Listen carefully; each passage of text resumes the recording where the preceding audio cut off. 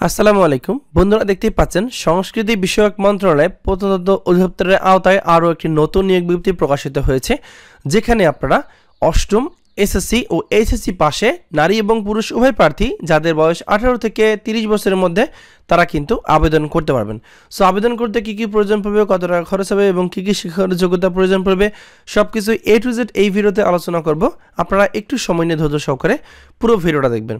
আর মূল ভিডিও আলোচনা করার পূর্বে ছোট তথ্য আপনাদের সাথে শেয়ার করব, সেটা হচ্ছে, আপনারা যারা বিভিন্ন বাহিনীর চূড়ান্ত সাজেশন পেতে চান লিখিত ভাইবার জন্য, যেমন মাদকদ্রব্য সিপাহী পদ, আনসার বাহিনী, পুলিশ কনস্টেবল, নৌবাহিনী, বিজিবি, সেনাবাহিনী এবং বিমান বাহিনী। সো এই সাতটা সাজেশন আমার কাছে আছে, যারা যারা সাজেশনগুলো নিতে চান, তারা প্রত্যেকটা সাজেশনের পাশে দেওয়া আছে কোন সাজেশন কত টাকা। সেই পরিমাণ টাকা আমার এই নাম্বারটিতে পাঠিয়ে, ওই নাম্বারটিতে হোয়াটসঅ্যাপ মেসেজ দেবেন যে, ভাইয়া, আমি এত টাকা পাঠিয়েছি, আমাকে এই সাজেশনটা আমার চাই। সো আমি সাথে সাথে আপনাদের হোয়াটসঅ্যাপ নাম্বারে চূড়ান্ত সাজেশনটি পাঠিয়ে দেবো। মনে রাখবেন, এই বাহিনীর চাকরিগুলোতে কিন্তু শুধু মাথা টিকলে হবে না, অবশ্যই লিখিত এবং ভাইবায় পাশ করতে হবে। সো এই সাজেশনগুলো আপনাদের জন্য খুবই গুরুত্বপূর্ণ। চলুন কথা না বেরো দেখে নেওয়া যাক। সংস্কৃতি বিষয়ক মন্ত্রণালয়ের আওতায় যে নতুন নিবৃত্তি প্রকাশিত হয়েছে, সেটি সম্বন্ধে বিস্তারিত। সো আজকে আমি প্রথম যে পটটা নিয়ে আলোচনা করব, আমি একটু জুম করে নিচ্ছি, যাতে আপনাদের সবার দেখতে সুবিধা হয়। তো দেখতে পাচ্ছেন সাইট পরিচালক নেওয়া হবে আট হাজার দুইশো পঞ্চাশ টাকা থেকে বিশ হাজার দশ টাকা বেতনে এখানে আবেদন করার জন্য অষ্টম শ্রেণি পাস সহ সুস্বাস্থ্যের অধিকারী হতে হবে। বাগানের কাজ ও মাঠ পর্যায়ের কাজ করার অভিজ্ঞতা সম্পন্ন প্রার্থীদের অগ্রগণতা দেওয়া হবে মানে অগ্রাধিকার দেওয়া হবে। এরপর অফিস সহায়ক নেওয়া হবে। এখানে আট হাজার দুশো পঞ্চাশ থেকে বিশ হাজার দশ টাকা বেতন দেওয়া হবে। এসএসসি পাস করলে আবেদন করা যাবে। এরপর না হবে জাদুঘর পরিচালক। এখানে আট হাজার পাঁচশো টাকা থেকে বিশ হাজার পাঁচশো সত্তর টাকা বেতনে ছয়জন লোক নিয়ে করা হবে। এসএসসি পাস করলেই আবেদন করা যাবে। ডিসপাস রাইডার নেওয়া হবে ন হাজার টাকা থেকে একুশ হাজার আটশো টাকা বেতনে। চারজন লোক নিয়োগ করা হবে। এখানে উচ্চ মাধ্যমিক সার্টিফিকেট মানে এইচএসসি পাস হতে হবে।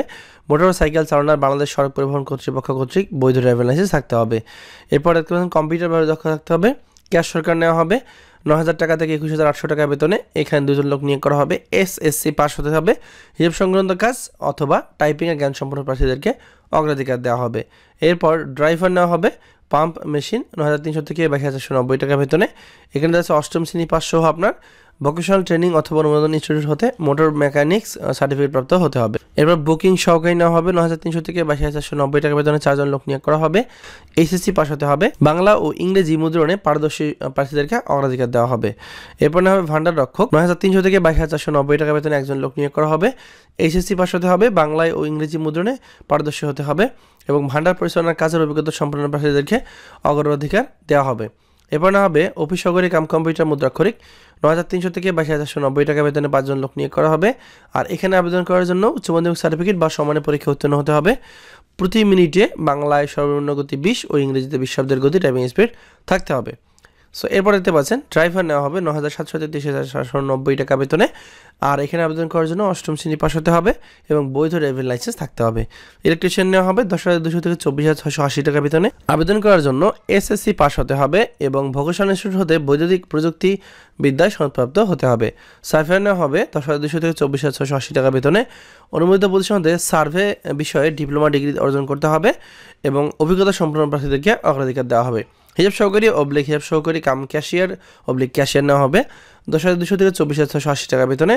এখানে বাণিজ্য বিভাগে স্নাতক ডিগ্রি অর্জন করতে হবে। তো এর পরের পদ হচ্ছে, দেখতে পাচ্ছেন ষাট মিটার করি কাম কম্পিউটার অপারেটর। দশ হাজার দুশো থেকে চব্বিশ হাজার ছশো আশি টাকা বেতনে চারজন লোক নিয়োগ করা হবে। কোনো স্বীকৃত বিশ্ববিদ্যালয় ন্যূনতম দ্বিতীয় শ্রেণির বা সমান এসএসজিবিতে স্নাতক বা সমান ডিগ্রি অর্জন করতে হবে। কম্পিউটার মুদ্রাক্ষরে প্রতি মিনিটে ইংরেজিতে তিরিশ ও বাংলায় পঁচিশ শব্দের গতি থাকতে হবে। এরপর উচ্চমান সহকারী নেওয়া হবে দশ হাজার দুশো থেকে চব্বিশ হাজার ছশো আশি টাকা বেতনে। এখানে আবেদন করার জন্য যে কোনো স্বীকৃত বিশ্ববিদ্যালয়, যে দ্বিতীয় শ্রেণির বা সমান সিজিবিতে স্নাতক বা সমান ডিগ্রি অর্জন করতে হবে। কম্পিউটার ব্যবহার দক্ষ থাকতে হবে। কম্পিউটার টাইপিংয়ের সর্বনিম্ন গতি প্রতি মিনিটে ইংরেজিতে তিরিশ ও বাংলায় পঁচিশ শব্দের গতি থাকতে হবে। এরপর সার্টিফিকেট কাম কম্পিউটার অপারেটর নেওয়া হবে। এগারো হাজার টাকা থেকে ছাব্বিশ হাজার পাঁচশো নব্বই টাকা বেতনে একজন লোক নিয়োগ করা হবে যে কোনো স্বীকৃত বিশ্ববিদ্যালয় হইতে ন্যূনতম দ্বিতীয় শ্রেণির বা সমানে সিজেপিতে স্নাতক বা সমান ডিগ্রি অর্জন করতে হবে। কম্পিউটার মুদ্রাক্ষরে প্রতি মিনিটে ইংরেজিতে তিরিশ শব্দ, বাংলায় পঁচিশ শব্দের গতি, টাইপিং স্পিড থাকতে হবে। সো এরপর প্রকাশনা সহকারী নেওয়া হবে এগারো হাজার টাকা থেকে ছাব্বিশ হাজার পাঁচশো নব্বই টাকা বেতনে। এখানে আবেদন করার জন্য যে কোনো স্বীকৃত বিশ্ববিদ্যালয় হইতে দ্বিতীয় শ্রেণির বা সমমানের সিজিবিতে স্নাতক বা সমান ডিগ্রি অর্জন করতে হবে। প্রুফ রিডিং এবং পুস্তক সংকলনে তিন বছরের অভিজ্ঞতার প্রয়োজন পড়বে।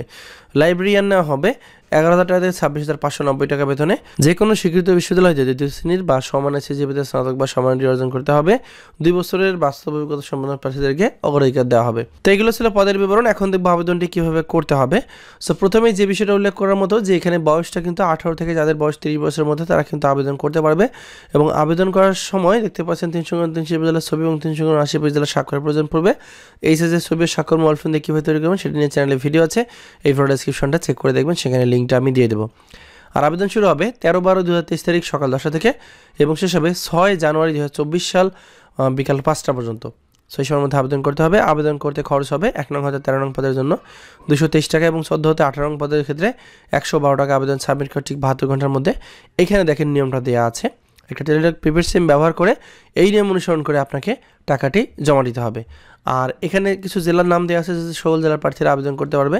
এক নং হাতে তেরো নং পদের ক্ষেত্রে যে সকল জেলার প্রার্থীরা আবেদন করার প্রয়োজন নাই, এই কয়েকটা জেলা আমাদের সকল জেলা নারী এবং পুরুষ প্রার্থী আবেদন করতে পারবেন। জেলাগুলোর নাম আপনারা ভিডিওটা পজ করে একটু দেখে নেবেন। আর এছাড়াও দেখতে পাচ্ছেন, এখানে চোদ্দ থেকে আঠারো নং পদের ক্ষেত্রেও এই কয়েকটা জেলা আমাদের সকল জেলার নারী এবং পুরুষ সবাই প্রার্থী আবেদন করতে পারবেন।